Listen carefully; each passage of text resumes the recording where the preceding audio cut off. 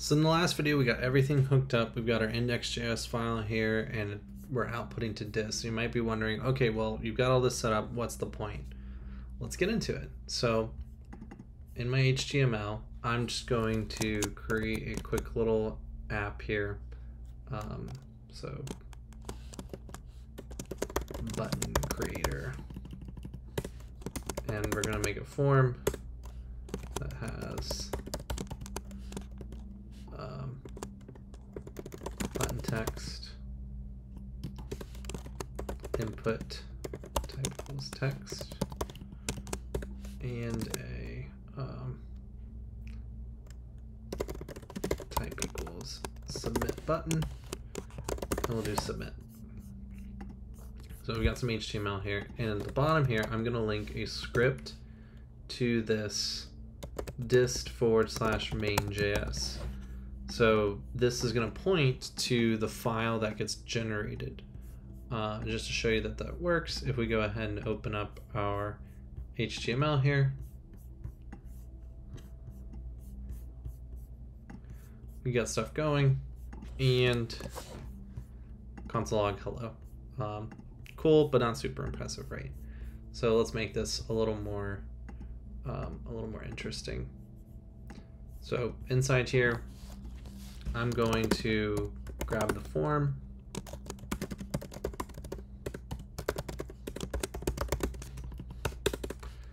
And I'm going to add an event listener to that form when it gets submitted.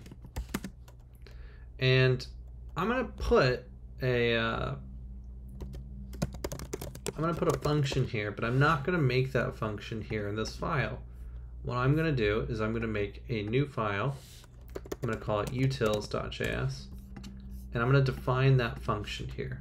And we're going to export it. So I'm going to export function, create button, and it's going to take an event as an argument. And we're going to prevent default. And um,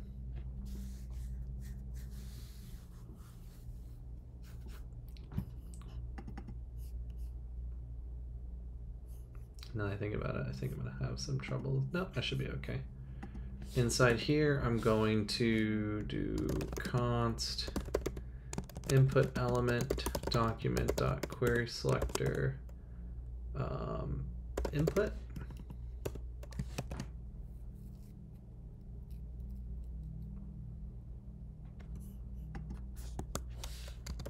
And we're going to grab that value, input element or say const value equals input L dot value. And we're going to set the input to blank. And then we're going to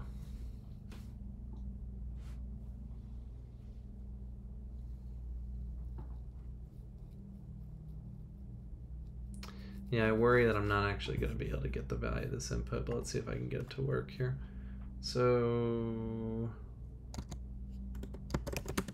const button equals document dot queries or create element button and then we'll say button dot text content equals the value and then we're going to just append that button into the HTML. So we'll uh,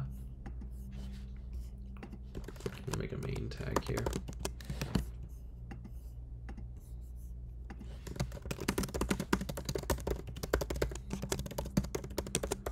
Main.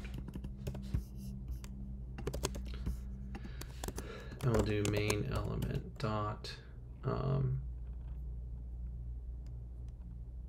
append button. Great. Okay. Now in our index.js, we're going to actually import that function. So import create button from utils.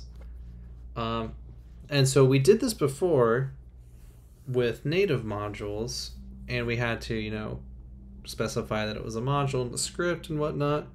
But now that we are Um, in Webpack land, we don't have to do that. We actually get uh, a little bit of night night. We get a few niceties here.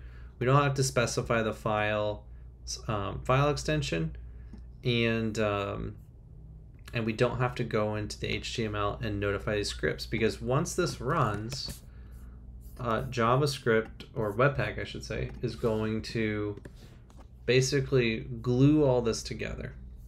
Okay. So I've gone ahead and run it. And now if we look at our main JS, we get a little more interesting of a, uh, of a thing here. We've got this, uh, we've got this use strict here and this big long line, is one single line function call that's executing a bunch of code. And essentially what Webpack is doing is it's reading these files and generating this code. Um, so all the imports kind of come together uh, and um, it's also going to make it take as least amount the least amount of space as possible. So it's doing what's known as minification.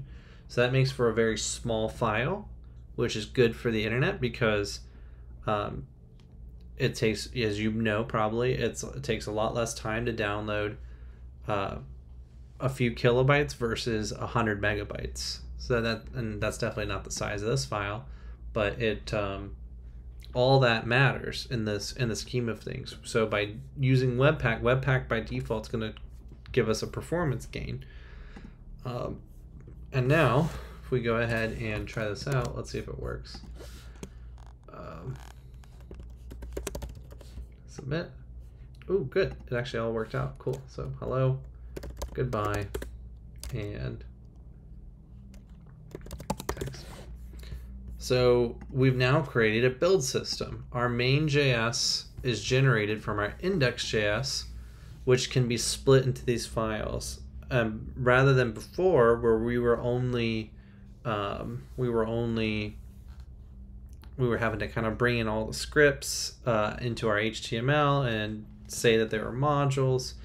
Um, Webpack's kind of handling all that for us. Webpack's just saying, hey, I'm going to take all that and glue it together into this dist folder, this main.js.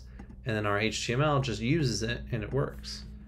Um, but the real power this is going to give us is the ability to use npm modules that are uh, that um, in a much easier way. So in the next video, we're going to see how we do that.